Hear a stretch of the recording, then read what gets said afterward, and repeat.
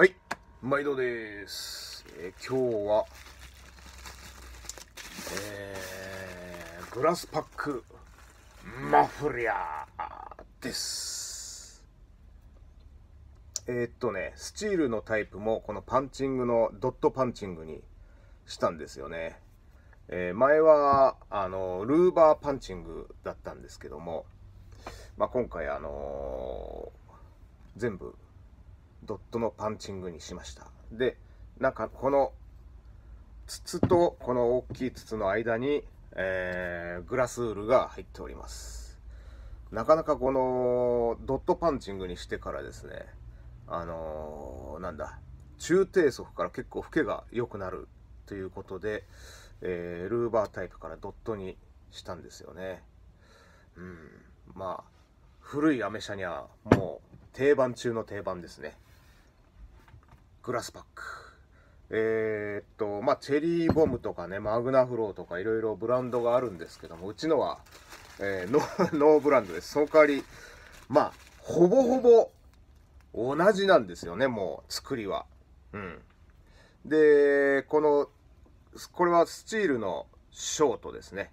それからスチールのロングとそれから錆びにくいステンレスの、えーショートとステンレスのロング合計今4種類揃えてますね。でこれ2.5インチとまあロングのタイプはあ違うこれは2インチだ、えー約5センチちょいですね。でそれからあと2.5センチを揃えております。うん。多分ね安いですよ。結構どこよりもうちは。でこれスチールにアルミナイズドの、えー合金をコーティングしております。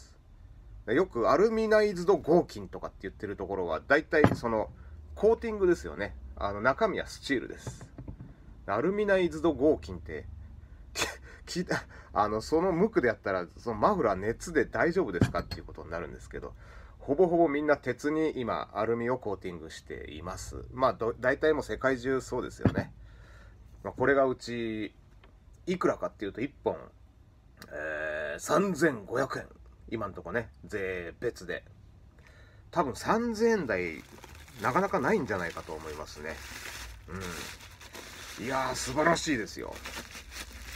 これをまあまとめて1本出しにしてもいいしまあ2本出しにしてもいいしね。うん。私の50のリンカーンはえーもうヘダースのすぐ後にグラスパックを1本ずつつけてますね。えーそれで2本出しになってますね。やっぱいい音しますよ。あの昔ながらの。アイドリング時はねデロデロデロデロデロデロっつって。でまあ吹かすともうドロドロドロドロドロドロっていういい音がするんですよ。あのー旧車なんかにもいいと思いますね。うん。グラスパック。まあストレート感ですよね。中間太鼓。まあうちマフラーはかなりうるさいんでよかったらえーちょっとホームページにアクセスしてみてください。どこよりも自信はあります、えーそれから最近チタンにも凝ってましてですね、えーチタンのパイプも量り売りするようになりました。量り売りというか30センチ50センチ1メーター1メーター50ですね。で今度フランジとかねあのチタン専用の溶接棒なんかねあのまた作ってもらおうかなとは思ってますね。それもなるべく DIY できるような安さで提供したいと思ってます。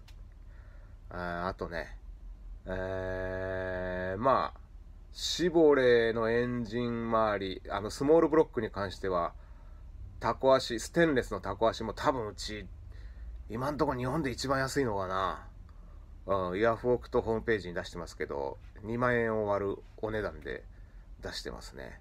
なぜシボレーかっていうと私の乗ってる車がほぼほぼシボレーのスモールブロックに 乗せ替えてるからまあまあついでに大量に取ったれっつって取ってでまあ極力お安くは出してるんですよね。マフラーそれからあと旧車用のミラーですね。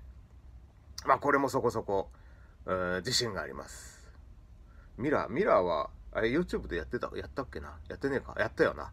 うん。まあ、今マフラーにも力を入れてるんで、うん。まあマフラー、いいですよ。太鼓のマフラーもね、あの、汎用の、それも、いい感じのものがありますね。持ってくればよかったな。うん。まあ、そんな感じで、今日は、グラスパック、マフラー、えー、お値段自信あり。